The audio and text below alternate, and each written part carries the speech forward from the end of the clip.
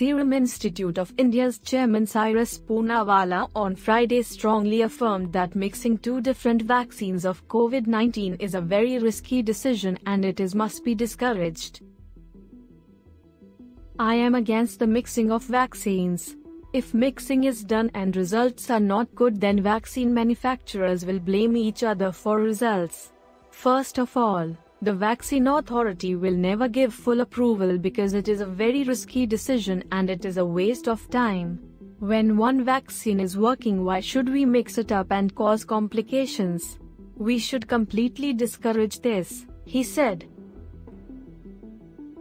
Poonawalla was briefing the media persons on his organization's COVID vaccine Covishield when he made this remark. He also criticized the central government for extending the time period between the first and second doses of the Covishield vaccine in India.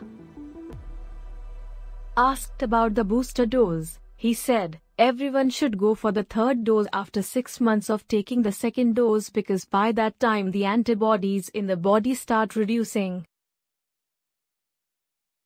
Poonawalla informed that even he has taken the third dose of the vaccine and staff at Serum Institute of India have also been given the third dose.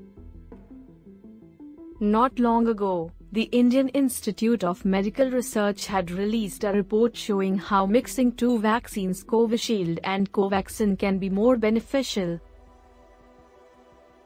Meanwhile, the Drugs Controller General of India, India's drug regulator, has approved a proposal for a study to be conducted on the mixing of two COVID-19 vaccines, Covishield and Covaxin.